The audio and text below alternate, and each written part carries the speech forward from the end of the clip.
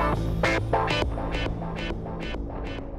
Bonjour à tous, bienvenue 7 minutes euh, chrono euh, sur euh, TL7, la quotidienne politique. Les 10 et 24 avril prochains, nous voterons pour élire le futur ou la future présidente de la République. Et à cette occasion, j'accueille sur ce plateau l'ensemble des soutiens ligériens aux candidats qui se présentent aux Français pour cette élection. Romain Brossard est avec moi aujourd'hui, soutien de la candidate lutte ouvrière Nathalie Arthaud. Romain Brossard, bonjour. Bonjour. Bienvenue sur ce plateau. On parle évidemment de la campagne électorale dans un contexte particulier. Comment jugez-vous le contexte de cette campagne on est à, quelques semaines maintenant du, premier tour.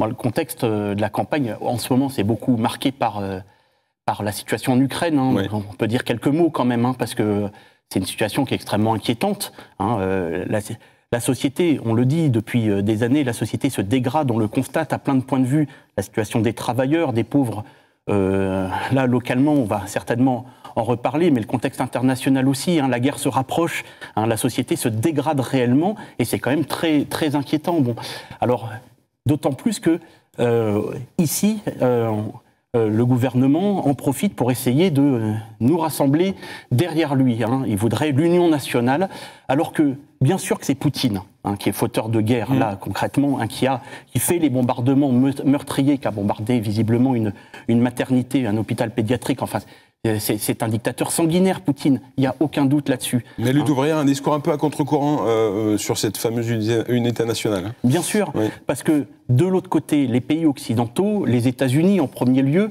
mais la France aussi à travers l'OTAN, portent une lourde responsabilité dans ce qui se passe là-bas aussi. Ça fait 30 ans depuis l'éclatement de l'URSS que l'OTAN prend pied là-bas, encercle la Russie de bases militaires. Hein, fait rentrer les pays euh, tout autour de la Russie, les uns derrière les autres dans, l'OTAN. Bon, eh ben, on ne met pas des bases militaires tout autour d'un pays pour euh, aller distribuer des sacs de vivres. Hein. C'est pour préparer la guerre. L'OTAN prépare la guerre et là, elle explose aujourd'hui. Et encore, quand je dis aujourd'hui, en fait, ça fait 8 ans qu'il y a la guerre là-bas. Au Donbass, hein, c'est 15 000 morts depuis 8 ans. La Crimée et le, et le Donbass. Bon.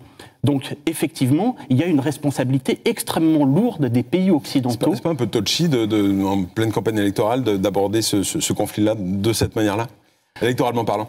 Non, je ne crois pas. Alors électoralement parlant, je ne sais pas, parce que c'est notre problème, c'est surtout de, dire ce qu'on pense hein, et de montrer qu'en fait cette société capitaliste, hein, c'est une société qui nous déclare la guerre en permanence. La guerre sociale quand ils ferment des usines, la guerre sociale quand ils augmentent des prix, la guerre sociale quand ils bloquent nos salaires, et aussi la guerre économique et la guerre tout court parfois, parce que la guerre économique se transforme en guerre tout court. S'il y a le conflit en Ukraine, par exemple, c'est pas du tout indépendant du fait que dans, en Ukraine, euh, il y a des grands champs de blé, c'est le grenier à blé comme on mmh. dit, hein, et derrière des intérêts de Total, par exemple, avec le gaz en, Russie. Il y a ça derrière. Donc cette société capitaliste-là, elle nous déclare la guerre en permanence. Et elle fait la guerre avec la peau des travailleurs, avec la peau des populations. Hein. Là-bas, c'est la peau des populations ukrainiennes et russes hein, qui est en jeu. Voilà. Bon ben, nous, c'est ça, c'est ça qu'on veut dénoncer et dire que si on veut vraiment assurer un avenir à l'humanité, un autre que des guerres en permanence et la misère un peu partout, il faudra que les travailleurs y prennent le pouvoir et que les travailleurs y changent la situation de fond en comble. C'est pas regardez ce qui se passe en Russie. Il y a des manifestations en Russie même hein, euh, contre euh, contre, la guerre menée par Poutine. Et c'est ça l'avenir. Hein. Mais les populations, Poutine d'un côté, Biden et Macron de l'autre, ils en ont rien à faire. Juste là-dessus, la preuve, c'est que on a peut-être oublié, mais il y a un mois ou deux, il y a eu une révolte ouvrière au Kazakhstan, une révolte ouvrière contre ah bah l'augmentation du prix de l'essence hein, et aussi contre la dictature politique. Poutine, il a envoyé 3000 parachutistes russes pour écraser la révolte ouvrière. Contre ça, Macron, il n'a rien eu à dire. Ils étaient d'accord. Parce que quand il s'agit de s'en prendre à la population, surtout quand elle se révolte, là, ils se retrouvent tous amis.